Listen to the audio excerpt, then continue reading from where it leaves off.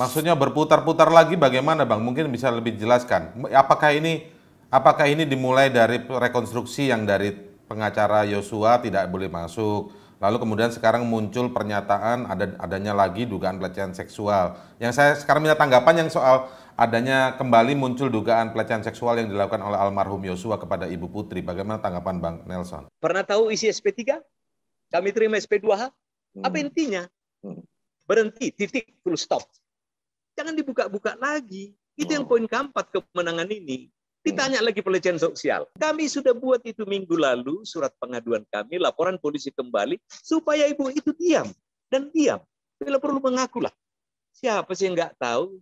Dari awal kami senantiasa mengatakan, ini antara Magelang, Cawang, dan Duren Tiga. Tidak lari dari situ. Kok kembali lagi ke situ? Ada hmm. apa ini? Ada apa? Nah ini kita kembali apa itu obstruction of justice? Siapa yang ngalang-ngalang itu tangkaplah, penjarakan, baju orange kan lah. Hmm. Ini komisi mana itu tadi? Hmm. Ini bu, yang si Joshua di Medan sana di Sungai Bahar pernah nggak diperhatikan?